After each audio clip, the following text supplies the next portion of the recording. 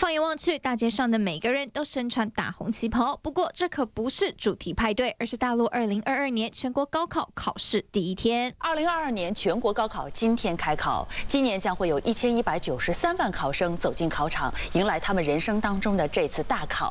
家长、老师们为了缓解学生的紧张情绪，穿着有着旗开得胜寓意的红色旗袍。接下来的两三天，则要穿上绿色及黄色，分别代表着一路绿灯和走向辉煌。不止在服装上讲究，在考生出发前，街上更涌现万人送考的场面。如此浩大，就是为了替孩子们打气。因为大陆的大学入学考被许多人认为是改变命运的考试。我们一类一策，做好涉疫考生的组考工作，落实落细风管控考点的考场要求。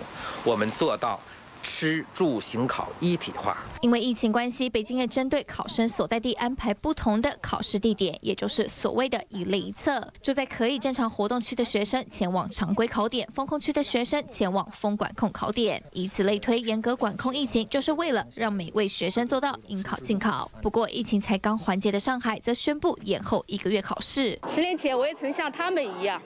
呃，在老师的带领下登上我们的船只，随着乌大高速的开通。这一届可能是我们最后乘船参加高考的考生。重庆一所农村高中，一百三十一名考生在老师的带领下走上漫长阶梯，准备跨线乘船复考。随着时代进步，他们将成为最后一届的乘船考生，也将迎来崭新人生。祝福二零二二所有考生金榜题名。记者谢涵宇报道。